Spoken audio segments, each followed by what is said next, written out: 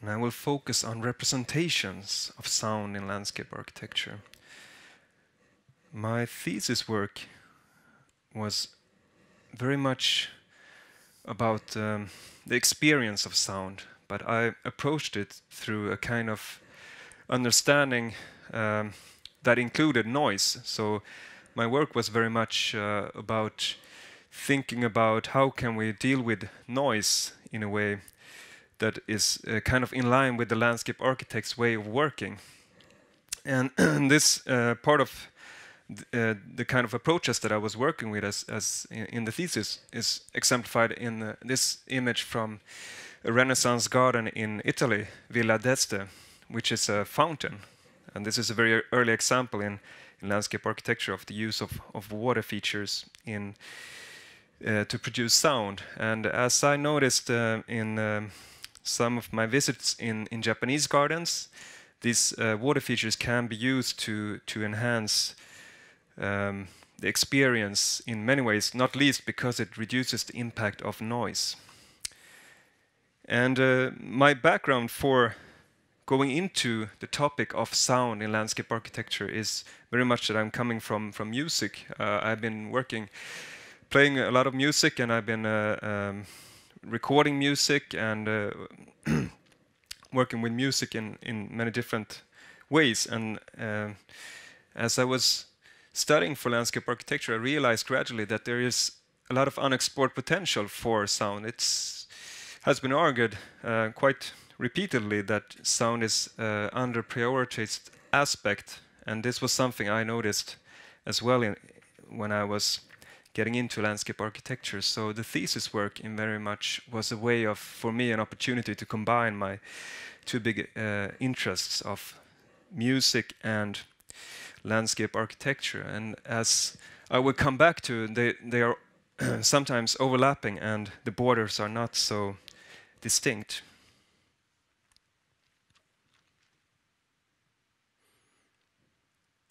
And um,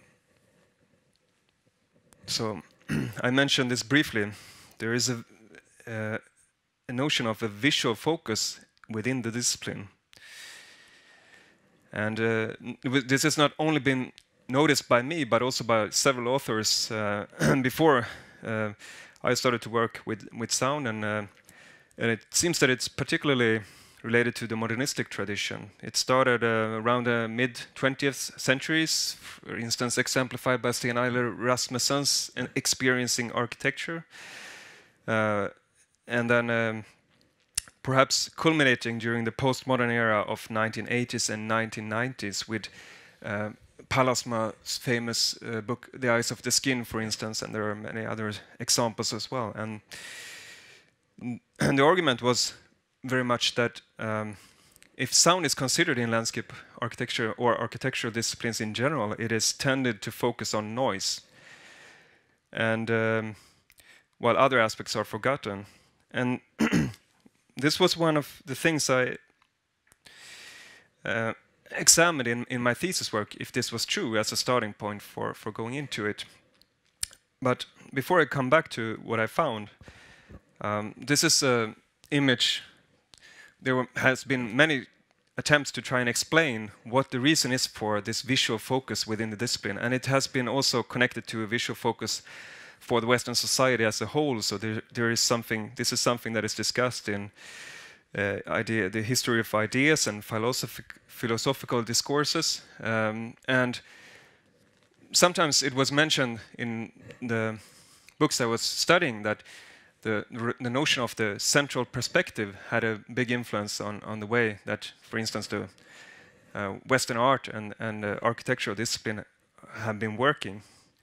And this is also a good Im image. This is from the Renaissance and uh, Count Johann, the window grid from 1531, which exemplifies uh, the situation in which many landscape architects work with today. I think it is a good uh, representation of how we are sitting indoors to design something which is actually outdoors. And this is something I noticed when I was in Japan. There is a, a long tradition of working outdoors rather than indoors. So this is um, something we have to adapt to as landscape architects when we're working with the outdoor environments. We're working indoor with something that is outdoor in most cases. But uh, which makes it really important that we have good representational tools for working with sound. And this is the topic for, for the presentation today then, to raise some examples of how we can represent sound. Even though we are working indoors, we, we should also be able to represent sound. And the most uh, established method is, of course, the noise map, which I will return to, and raise that and other examples as well. But first, I want to say a few words about if the critique is valid. What I found, uh, many of the sources that I mentioned previously were have quite a, a, harsh critique for the field. But when I studied some of the literature and some of the projects, I already mentioned how Japan, for instance, has a rich tradition of working with sound. It seems like it has been a little bit one-dimensional and um, it is true to some extent, but not for all regions, not for all practitioners, and not for all projects. So there are many examples uh, throughout history. We already seen example from Greek theaters earlier today, and there are the Italian Renaissance gardens. There are some uh, example in, in the Japanese garden tradition. For instance, already in the 11th century, in the Tale of Genji, which is a famous novel in, in, in Japan, it is stated uh, the stream above the waterfall was cleared out and deepened to a considerable distance, and that the noise of the cascade might carry further, he set great boulders in midstream against which the current crashed and broke. And so this illustrates how this is something, sound has been something that is um, important in this tradition already more than a 1,000 years ago. And I also experienced several examples of this very technique today when I visited gardens, this, in this case, Shinen garden from the early 1900s.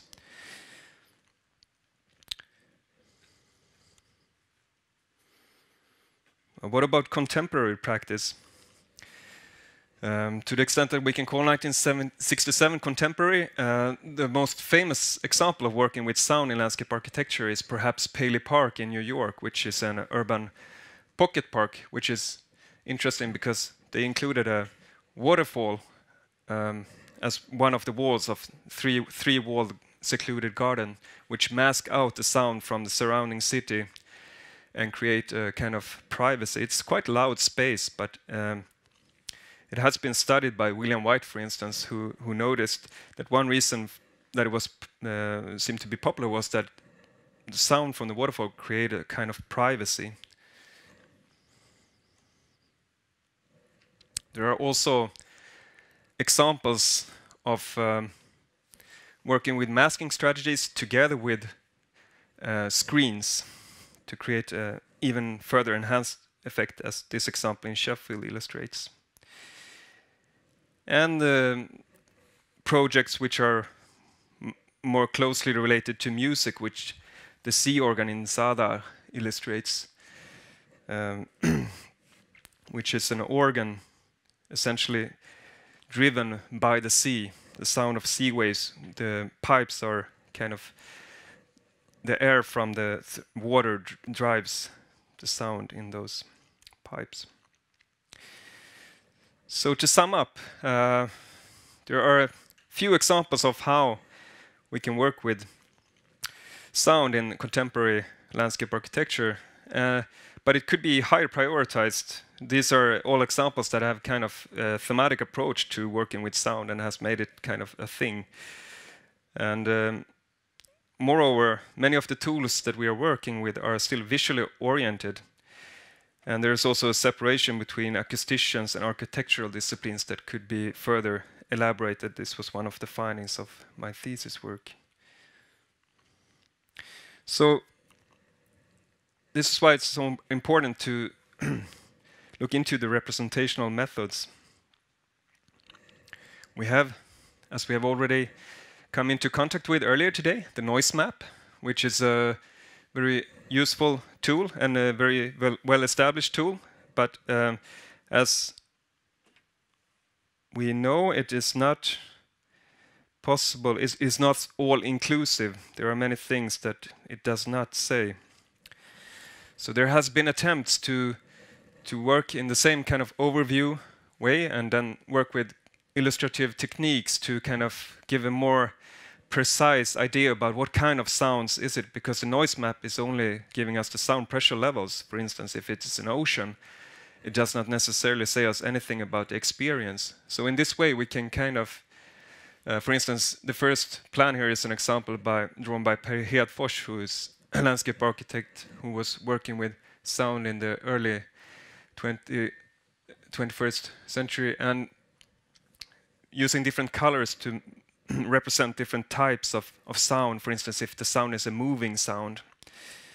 And then uh, Vogiatzis and Remy, who did a survey in Greece, used different symbols to represent sound in an urban environment.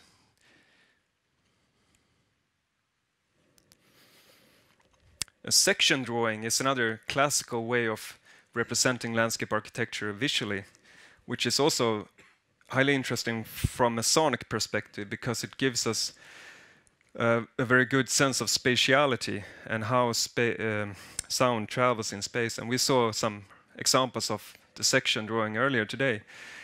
And uh, this is an example from uh, Norman Booth from 1983, where he drew uh, the sound of traffic and call it noise from the road, and then gradually going through the waterway, and then it becomes sound from water structure. So this is also an example of how we can illustrate a masking situation.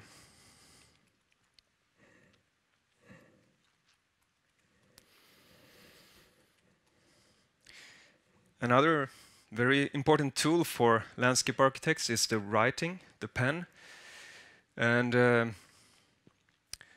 the American landscape architect Lawrence Halprin is, is famous for his, uh, together with Anna Halprin, his orchestration or his uh, choreography of, of landscape architecture architecture project. He is also very interesting from the point of view of writing because, for instance, here he uses an onomatopoeic language to describe the sound of water for one of water features uh, which he's been working on when he says that water has sounds as well. It gurgles, it splashes, it goes plop, plop, plop, and shh, and spats. And this is from 1963. And there's uh, also another example by Lawrence Halprin, which he uses when he he recollects his in, in the introduction to this book. He re recollects his favorite urban experience that he has been having, and it's of course from Venice, which is a recurring theme when you're studying the landscape architecture literature on sound, because Venice has no cars, so there is a lot of more opportunity for dynamics of sound to come forward. So he says, there was no sound, no automobile exhausts, no buses, absolutely quiet in the very heart of a great city. In the distance, you could hear faintly some young people singing. All of a sudden, the air became dark with birds, the square filled with the beating of thousands of wings. The noise increased and increased until it was deafening, and the deserted square became absolutely filled with pigeons. The noise was incredible, even frightening. They had come to feed, and when they had finished, they left just as quickly, and the great square was empty and quiet again.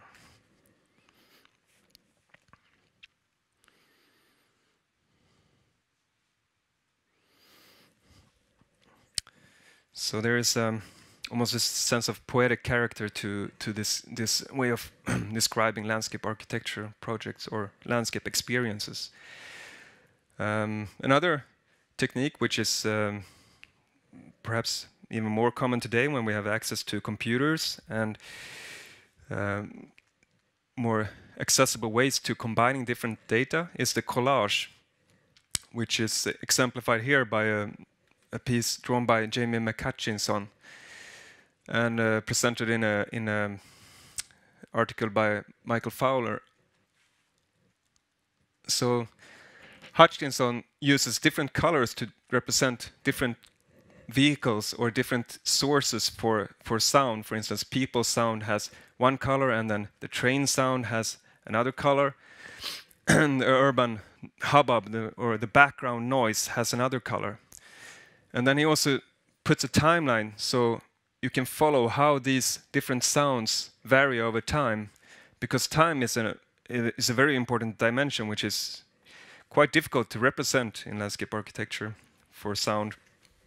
And uh, one which is can be very important for instance if it if it, there is a variation over the day hours and so on and it is also interesting there is another example of use of onomatopoetic words and kind of almost blending the borders between what is an image and what is a, a text.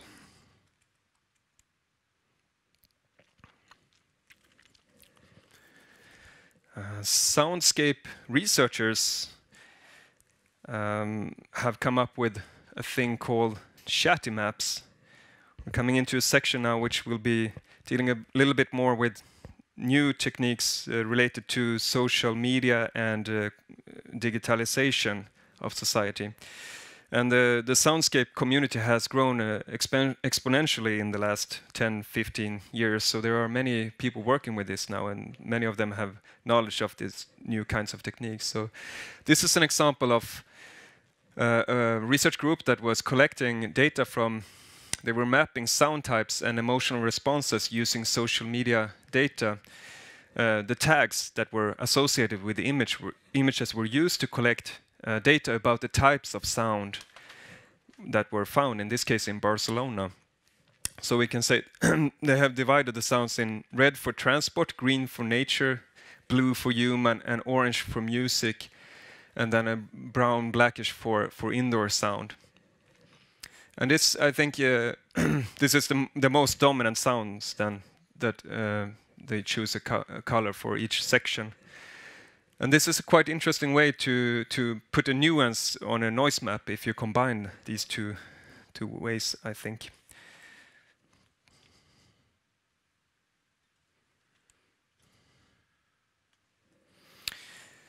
Another social media kind of um, approach is the Hush City app by Antonella Radicchi.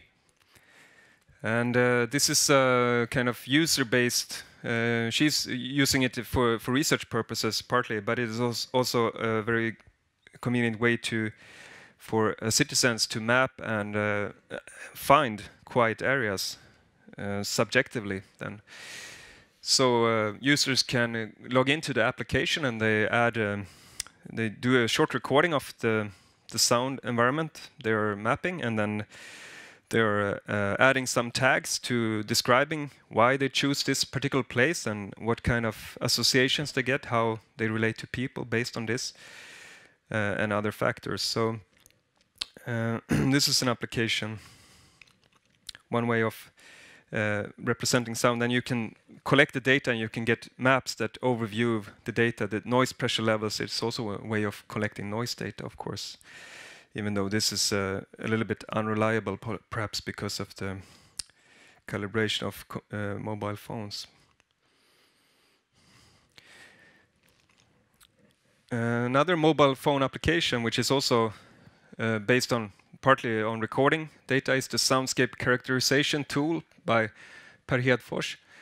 Uh, which is uh, more directed to the practice of landscape architecture and uh, urban planners, uh, which is essentially a way of to help to categorize, to help put descriptions, to put words on different um, areas. And uh, one of the there are eight categories in total in this application, and one of them is onomatopoetics. So it comes back the use of onomatopoetic words.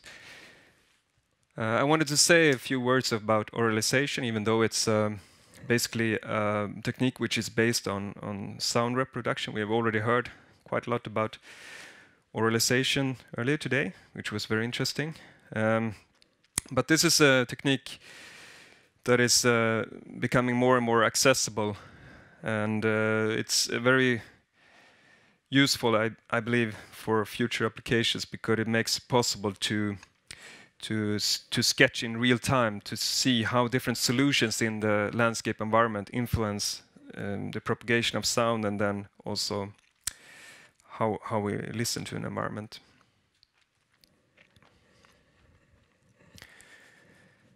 Field recordings is also sound representation but I want to mention it here because it can be combined with visual data in quite interesting ways. And of course, it made possible by Thomas Alva Edison when he introduced the phonograph in 1878. But now it's become so much more accessible. So almost as easy as a digital camera to use. Um, it is very interesting, like I said, because it can be combined. For instance, it can be used as part of a, a plan drawing of uh, landscape architecture projects that you can click on sound information for various sites. It can be used to, to produce videos, to produce slideshows, or to make collage. As in this example here, Audible Dwelling by Sandra Koplar, who did research on uh, how a site can be transformed by adding sound before it's, it is built. So it kind of helped practitioner, for instance, to, to um, gain an insight into how some future changes would influence the site.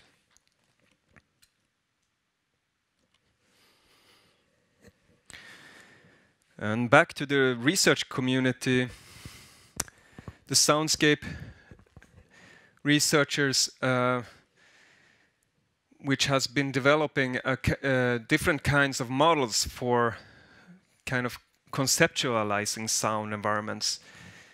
And uh, here are two examples. Again, one from Hed, Per Hedfors, which is makes a distinction between figure and background sounds.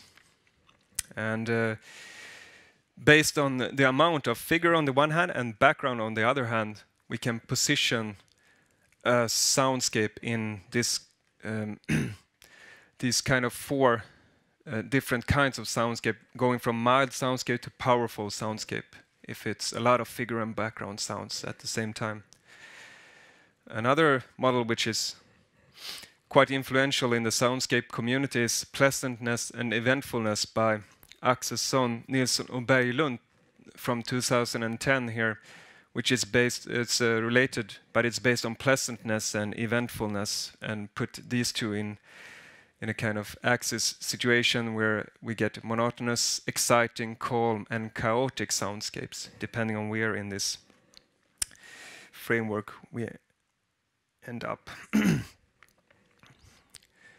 I have uh, two more examples before finishing, and the first one, both are a little bit phenomenological, so it's uh, different examples of how you can capture the movement through space. This is a interesting method by Nina Helgen, who quite recently presented her thesis on, on urban sound, which is uh, a little bit related to the noise map, but there are some more subtle information added, which can be, for instance, we can see how the noise is quite rapidly diminishing around a corner, and this create uh, not only a change in sound pressure level, but also a kind of experiential effect. So, uh, for instance, there is an effect called cutout when you're doing a transition from a very loud space to a very quiet space. It, it can become, seem to be very tranquil because of the contrast effect there.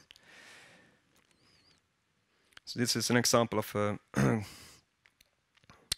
phenomenological mapping. And here is another example which looks a little bit like a musical score. This is from Versailles. And Catherine Szanto, who uh, did her thesis work in this garden, uh, trying to gather how it was to be working, uh, to be walking in this garden around the time of the 18th century. And one of the, there are several axes in this, uh, for instance, fragrance, and views and and and one of them is is sound and we can see how how the sound level is is changing that's the sound level that she has been working on it. But she has also been doing some developments of this specific, specifically for sound, for instance, close sounds, further away sounds, and how sound can attract people to a certain space. Because we hear something, we want to walk and explore it further. So I think this is very interesting because it looks a little bit like a musical score, and it kind of puts the finger of how how uh, sound in the landscape is actually not so far away from from music in in some times. Um, finally, to conclude, as we saw some examples of uh, earlier projects, there are increased interest for sound in landscape architecture, and also within academia, there is a really increase for soundscape research and how it can be applied in planning situations. There are also many different approaches to, to represent sound. There is not one solution, but rather uh, quite a few and, and, much more than I've been able to uh, give today. But uh, I think it's reflecting the complexity of um, the topic and the many different ways we can understand and interpret sounds in the environment. There are also some new and promising computer-based methods that I think uh, will have um, quite a lot of influence in the future. And